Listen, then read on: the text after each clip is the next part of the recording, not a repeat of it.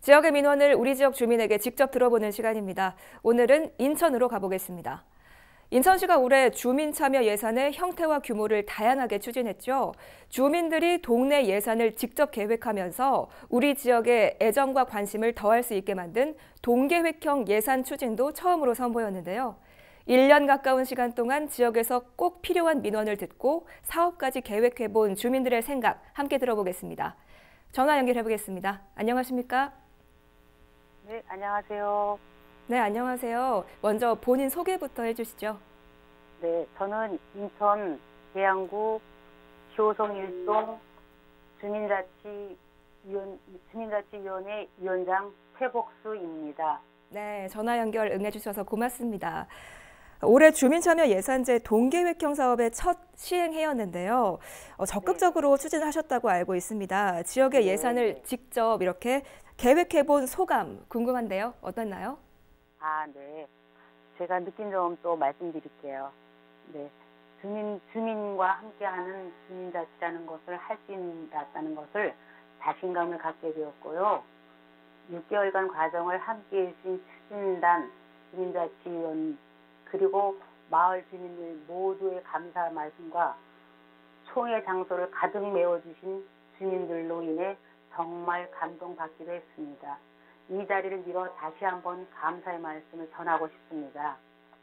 주민들이 함께하면 지역 자치를 함께 할 수 있다는 자신감을 갖게 됐다. 이런 소감을 전해주셨는데요. 네, 네, 네. 처음이었던 만큼 경험도 다양하게 하셨겠지만 아쉬운 점도 있을 것 같습니다. 어, 생각만큼 수월하게 진행되지 않아서 아쉬웠던 부분이 있을까요? 네, 아쉬운 점이 있습니다. 아쉬운 점이란 저희가 3월달 3월달부터 추진단 모집부터 8월 주민총회까지 약 6개월간 진행된 사업이다 보니 시간이 촉박해서요. 더 많은 주민들과 함께하지 못한 점이 못내 아쉬워, 아쉬웠어요. 2020년 내년에는 올해의 경험을 살려 충분, 충분히 준비하고 더 많은 주민들과 소통해서 사업을 추진하겠습니다. 6개월 동안의 활동이라서 더 많은 주민들과 함께하지 못한 것이 아쉬웠다고 말씀해 주셨는데요. 어, 지금 예산 계획 하시면서 지역의 민원들이 굉장히 많이 접수된 걸로 알고 있습니다. 계양 효성 일동에는 어떤 민원들이 있었나요? 네, 효성 일동에는요. 처음 시행하는 사업이다 보니까 아무래도 안전이나 마을 환경, 개선 등에 대한 요구가 많았습니다. 특히 교성동을 상징하는 공간이나 문화유산 등이 없다 보니 교성 마을을 마을의 특성을 살린 마을 주민에게 자부심을 고취하고자 하는 사업들을 제안했고 채택이 되었다는 걸 같습니다. 네, 그랬군요. 어, 동계획형 사업은 처음이다 보니까 마을 주민들이 굉장히 생소하게 느꼈을 것 같은데 어, 참여를 적극적으로 하셨나요, 주민들이? 네, 참 적극, 적극적으로 참여해 주셨습니다.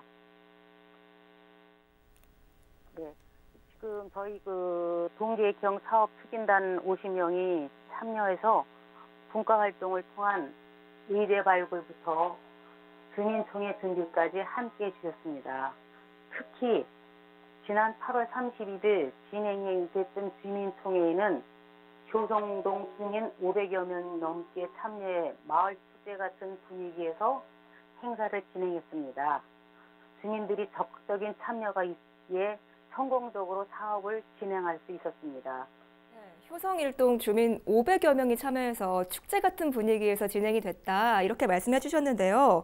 어떤 계획들이 나왔는지 궁금해요. 말씀 좀 해주시죠. 네, 효성동을 가로지르는 봉오대로 산책길이 있는데요.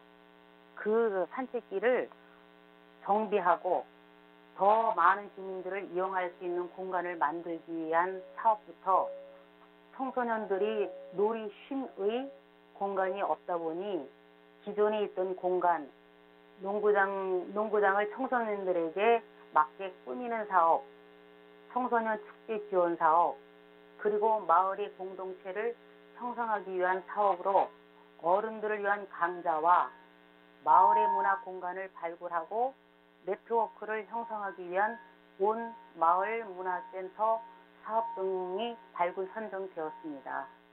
네. 어, 다양한 계획들이 실제로 내년도 예산에 반영이 되는군요.